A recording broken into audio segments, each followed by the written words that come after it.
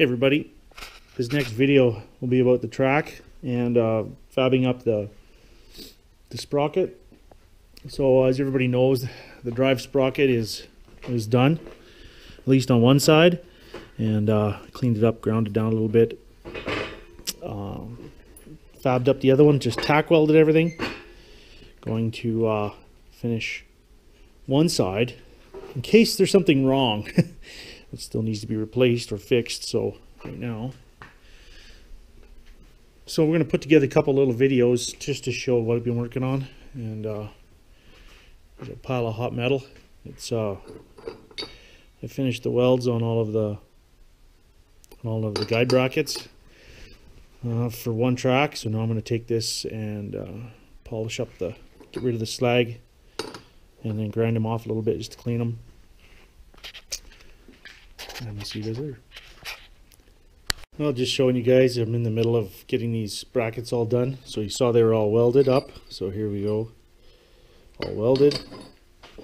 So from welded, slag on it, bits on it, ground, cleaned up, polished a little bit, to painted, painted flat black.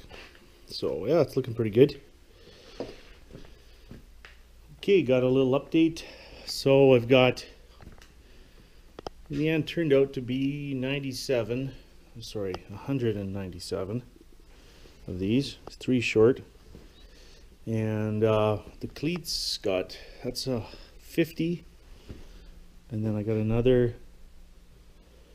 48 here. So uh, I actually don't know the exact quantity I'm gonna need because we don't have the final dimension yet but uh, as soon as I I'm gonna assemble some track. I've got the tracks just laid out here. I'm gonna start putting it together. And once I get the track together, I'll do uh, probably about 25 feet of track. And then the next step is to fabricate the front wheel for the front idler, just to tension it. So uh, before I can pick the final dimension, I have to do that. So, but it's looking pretty good. We'll get the track put together and uh, hopefully can lay it out put the temporary wheel up here and then we'll know what length we need. Okay got the track assembled. Um, yeah that's a lot of track. I think I'm pretty close on distance right now. But uh, I'll be short a little bit so now I'm going to stop doing the track and I'm going to assemble this front wheel. It'll be the tensioner wheel. I'm going to put a big bolt on it to uh, tension. Um, probably what I'll have to do here is take and cut this and then make it angle up a little bit so that that wheel is sitting up here. Should work. Okay, so uh, getting ready to mount the tracks. Um, as you can see here, the tracks are ready to go. Got got the bra got a bracket welded on to the frame.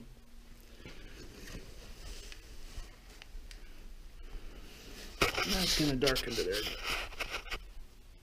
It's welded on. No holes. That's the line for the uh, track. And uh, made an adjuster here. So if you screw this in it pushes the wheel out. Screwing this bolt in here. Pushes the wheel out. Then uh, is your tensioner for the track?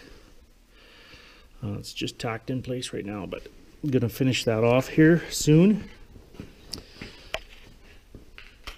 Next video I want to definitely have put the wheels back in there finish there's some back welding behind the brackets got to do and underneath on the frame and then I want to put the wheels back on, wrap the track around it, and uh, then I can find out exactly the right length of the track.